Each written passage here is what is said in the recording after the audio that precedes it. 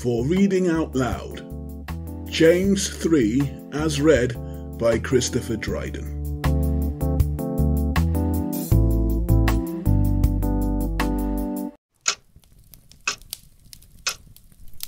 Not many of you should become teachers, my brothers, for you know that we who teach will be judged with greater strictness. For we all stumble in many ways, and if anyone does not stumble in what he says, he's a perfect man, able also to bridle his whole body. If we put bits into the mouths of horses so that they obey us, we guide their whole bodies as well. Look at the ships also. Though they are so large and are driven by strong winds, they are guided by a very small rudder wherever the will of the pilot directs.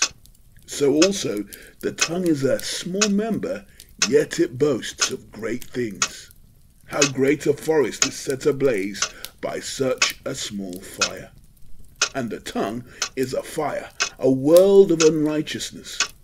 The tongue is set among our members, staining the whole body, setting on fire the entire course of life, and set on fire by hell.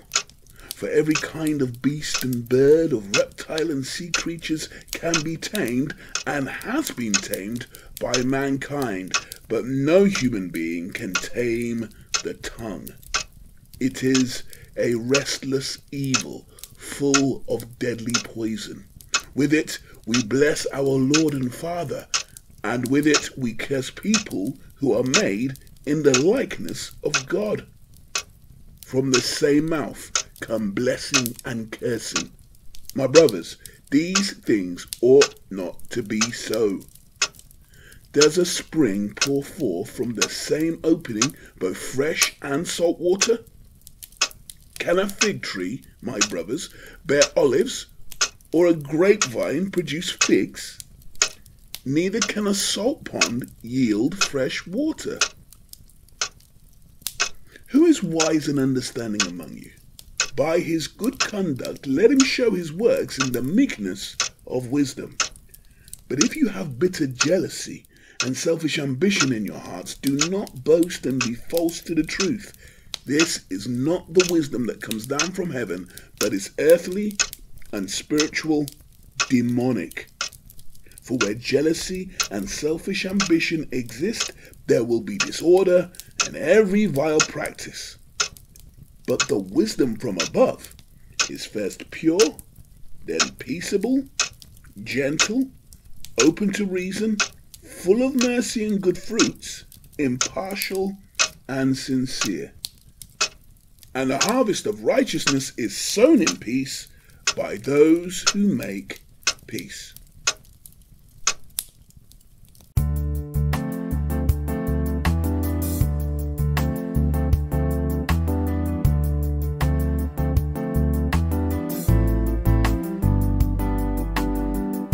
For reading out loud, James 3 was read by Christopher Dryden. Please remember to like this video and share it with your friends and loved ones.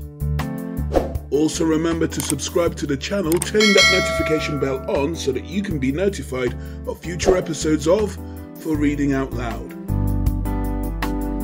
This is a production of Zion Awake Ministries. If you want to find out more and support the ministry, feel free to contact us in the details given in the description below. On your screen now should be more opportunities for you to hear the Word of God read out loud.